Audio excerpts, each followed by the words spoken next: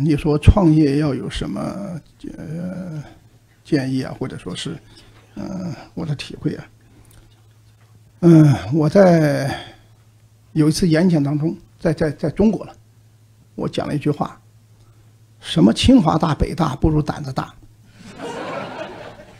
现在我也告诉你，什么哈佛耶鲁不如你自己敢闯，因为机会是闯出来的，哪有算出来的？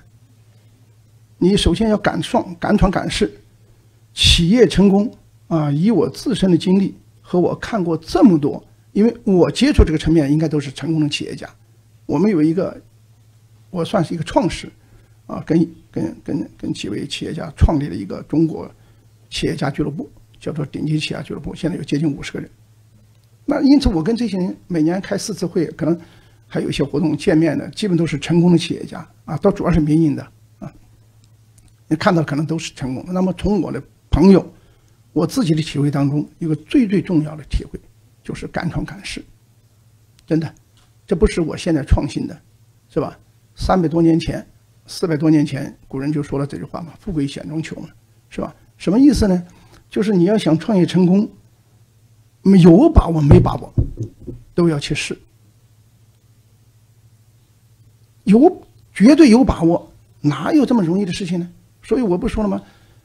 如果你十个朋友告诉你的事都能做，你千万别做。真的，三个人告诉你说可以做，七个人说够呛，你你就去闯去试，啊，可能会失败，失败了再来呗。你有成本呐，你年轻呐，是吧？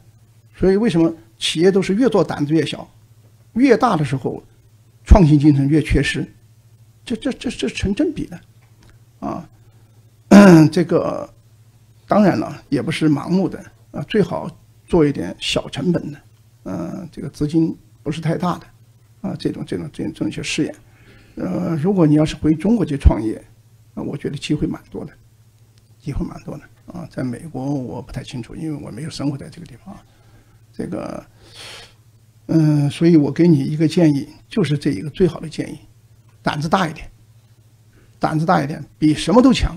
真的，企业家精神，什么叫企业家精神？最重要的两条标准：一，创新或者叫做敢闯敢试；二，坚持精神。凡是成功的企业家。或者卓越的企业家都接近神经病，什么意思呢？自己相信自己这个故事，相信我能做成，失败五次、十次，甚至更多次也不怕，接着再弄，接着再干，还真就获得成功，这个路上就站起来了。如果没有这种坚持精神、锲而不及精神，没有这种执着或者坚信，不可能成功的。这个人太圆滑了，或者说太容易放弃了，是不可能成功的。所以具体建议说不上，就这两点告诉你啊：敢闯，第二坚持，肯定成功，好吧？